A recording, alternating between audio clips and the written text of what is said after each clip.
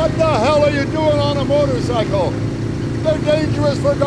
Dopo l'adattamento cinematografico del Capitale Umano, il road movie La pazza gioia, Paolo Virzì, il suo primo film girato negli Stati Uniti, se si eccettua My Name is Tanino, realizzato nel 2003, torna ad incrociare matrici letterarie e cinema di viaggio con The Leisure Seeker, tratto dal romanzo omonimo di Michael Zadurian, uscito in Italia con il titolo In viaggio contromano.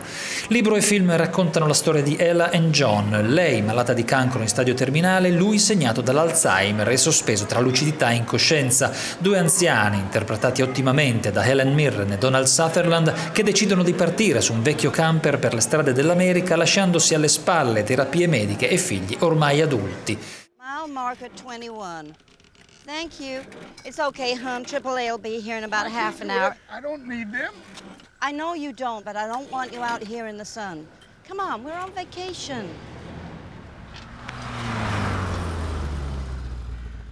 Sorretto dalla consueta ironia del regista livornese, da paesaggi suggestivi, da incontri grotteschi da un alternarsi costante di tenerezze e amarezze, The Leisure Seeker procede lungo i binari di una sceneggiatura prevedibile che punta al coinvolgimento emotivo dello spettatore rendendolo partecipe dell'intimità psicologica e affettiva dei due protagonisti, il professore di letteratura appassionato di Hemingway e la sua volitiva moglie che a causa della perdita di memoria del marito gli fa anche da madre.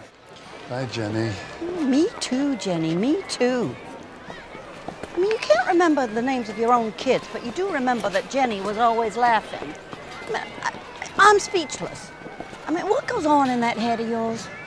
Aggrappandosi ai ricordi di ieri, riversando negli effetti sull'oggi, ma non spingendosi ad un domani forse ancora possibile, il film di Virzì restringe la lunga storia d'amore dei due anziani coniugi all'interno di una totalizzante dimensione privata, non demandando a nessun altro sul finale la responsabilità di scelte decisive, facendo ricadere su di sé, in nome di un amore giudicato irripetibile, il senso di un'intera esistenza. I don't remember what the question I remember. He doesn't.